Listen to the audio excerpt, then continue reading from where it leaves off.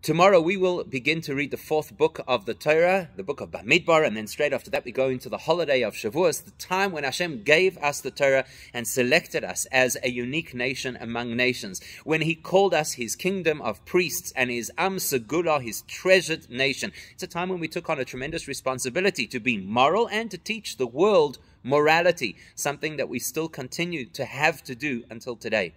Now, when the Jews arrived at Mount Sinai, ready to receive the Torah, it's interesting, and you'll read about this on Monday morning, that it says, Vayichan Sham Yisrael Neged Hahar, that the Jewish people camped across from the mountain. And it says Vayichan, which is a singular word, in spite of the fact that it was speaking about three million people. And the commentaries say, what does that mean?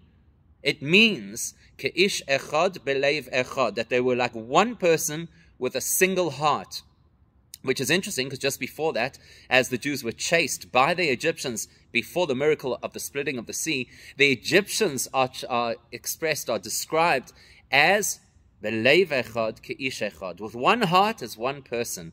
Fascinating, isn't it? It's a stark insight into the distinction between the Jewish people and its enemies. We are ke'ish echad. It is our intrinsic reality that we're one person. It doesn't matter where you stand on the political spectrum. It doesn't matter what your religious views. We are one. And if we don't believe that, our enemies will always remind us they don't distinguish between the religious and the non-religious. They don't distinguish based on our political opinion.